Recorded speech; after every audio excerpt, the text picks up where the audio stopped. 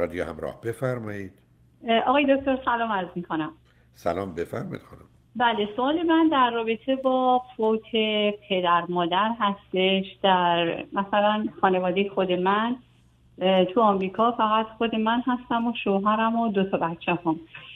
خواستم ببینم اگه به طور ناگهانی مثلا پدر مادر فوت کنن و این دو بچه این دو, این دو تا بچه رو چجوری ما باید آماده کنیم یا سازمان هایی هستش؟ ما قبلا باهاشون در تماس باشیم اینا. خب اصلا یعنی چی؟ سازمان یعنی چی هستی؟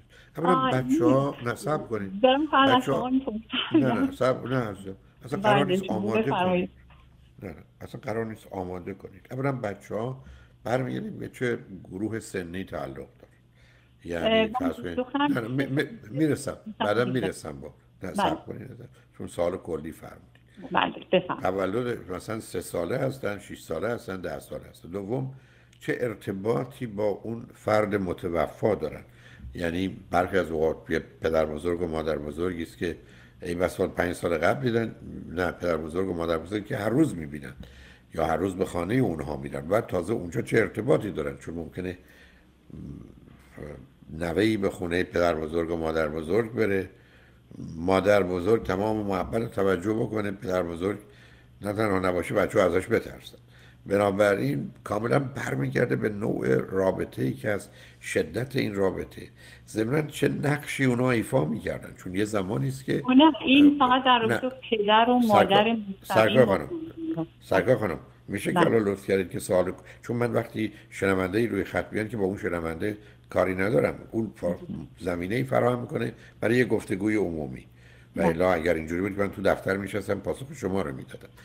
بنابراین بنابراین مطلبی که اینجا مطرح هست این است که ما برای بچه ها چه باید اولا بسیار از بچه ها اصلا اهمیت نمیده یعنی مطالعات نشون میده بچه ها تا سن چهار پنج سالگی اگر ارتباط خاصی نداشته باشن و یا کاری که اون پدر بزرگ یا پدر یا مادر انجام می‌دادن رو یکی دیگه انجام بده حتی پنج دقیقه بعدم براشون مهم نیست.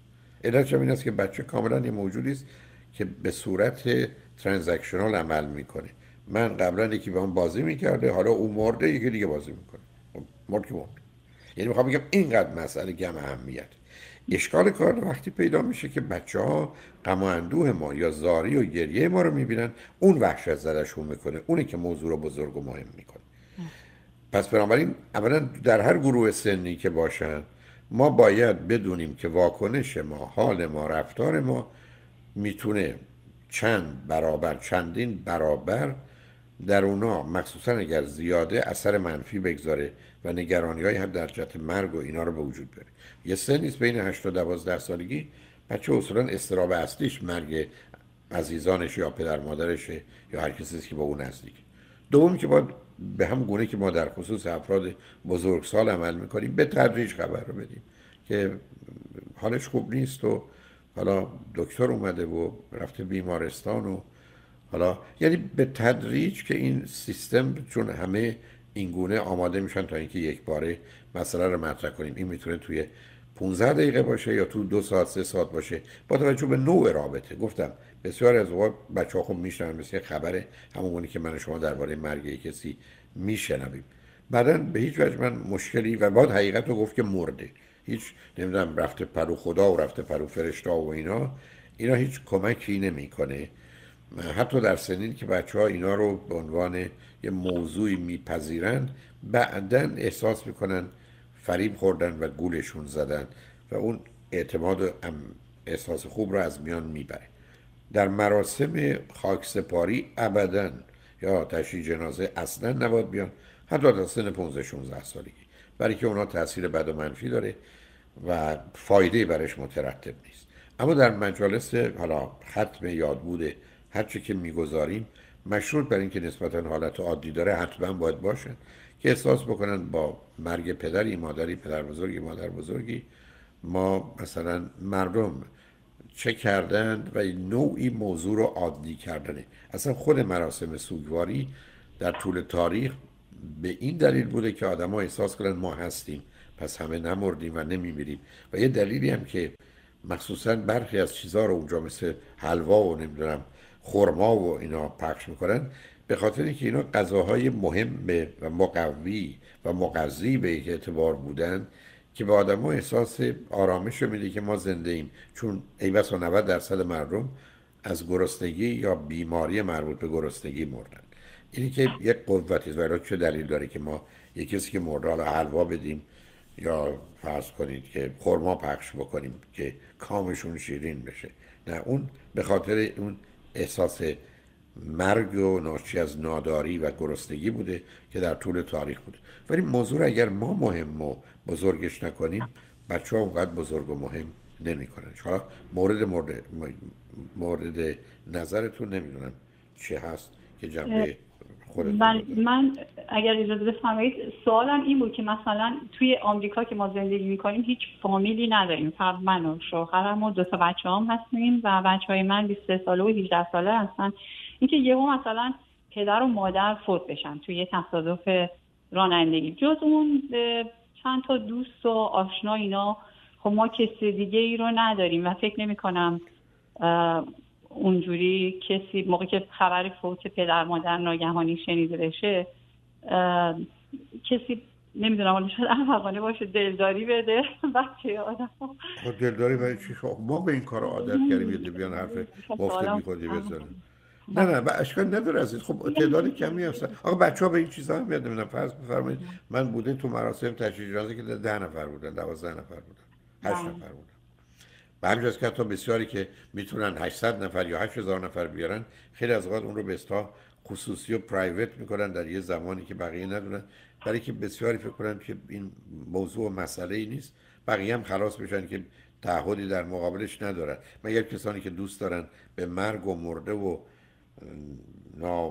ناپایداری جهان و اینا برسن خوشحال میشن را بیفتن مثل کلاق سیاه که بعد که مراسم عزاداری سرکلشون پیدا میشه حلوای زیادی هم می‌خورن که نمیرن. ولی ببینید عزیز ما تو دنیایی هستیم که یه مقدار این موضوع ها به دلایلی که در گذشته بوده دیگه نیست. اینه که شما فرض بفرمایید امروز مردم میرن سفر شما فکر کنید در شهری مانند لس آنجلس هر کی میره سفر یا برمیاد شما خودت فرودگاه. اصلا تمام ترافیک شهر فلج میشه. خب مردم می‌خوان برن فرودگاه میرن دیگه یا میان دیگه. مگر موارد استثنایی و خاص اونم برخی از اوقات هم بیکاریم هم به حال دلایل خاصی داریم برای اون مسئله. یا فرض کنید در خصوص بیماری. بسیاری از ما امید و انتظار میگه بیمار میشیم دیگه همه بدونن بیان سراغمون علت چه که ما در طول تاریخ از جهت بیماری و شدتش احساس غرور و افتخار می‌کردیم. یعنی من یه سردردایی می‌گیرم که اصلا هیچ کس نمی‌گیره. یعنی اگر بتونم توی بهمونی توجه همه رو به سردردان جلب کنم خب خیلی آدم بزرگ و مهم میشم. یا من جراحیم چقدر طول کشید. حالا جالب اینه که در جهت بیماری های روانی پنهان می‌کنیم.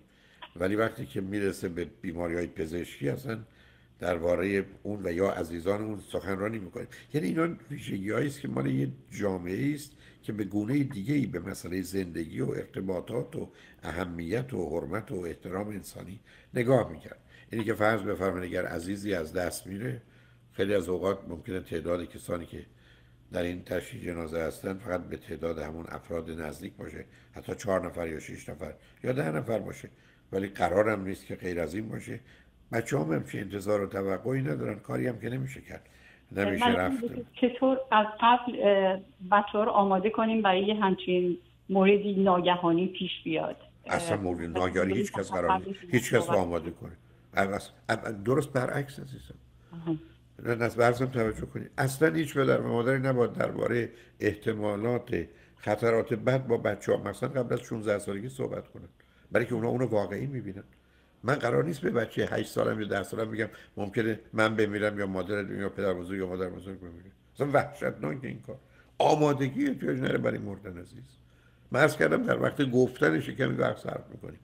می‌گذاریم حادثه اتفاق بیفته. چون روزی که شما به یه بچه 8 ساله 10 ساله 12 ساله از این حرفا زدید اون هزار با نه شما میرید سراغ موضوع خودتون عزیز. متاسفم. بچه های هشت سال ده هزار بار این مسئله مرگ رو و احساس بد رو تجربه علاوه متاسفم بهتون که بسیاری بچه ها تو اون سن سال فقط ممکنه کمی دلشون بسوزه به خاطر رنجی که پدر بزرگ یا مادر بزرگ بوده یا بیماری شد ماجرای از اصلا اهمیت نمیده. شما چی میشه؟ برو اگر من یه پسر و دختری دارم که رابطه خاصی داره با من یا با پدر بزرگش اگر من پسر و دختری دارم که ویژگی روانی خاصی داره که اون مورد اونست که باید بهش مراجعه کرد. ارتباط عمومی نداره. ولی اینکه ما بخوایم افراد رو برای مرگ احتمالی خودمون یا دیگران یا بچه ها رو آماده کنیم مطلقا جایی نداره عزیز.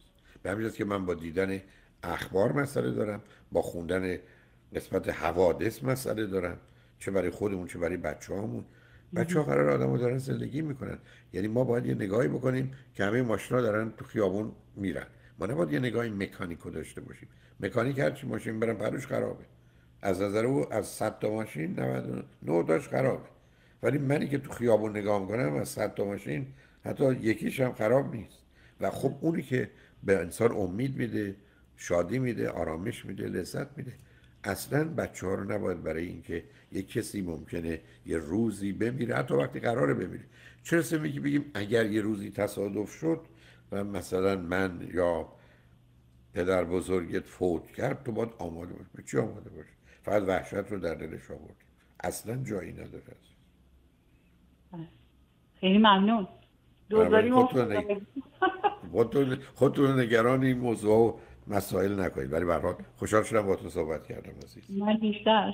لطف می‌کنم. خواهش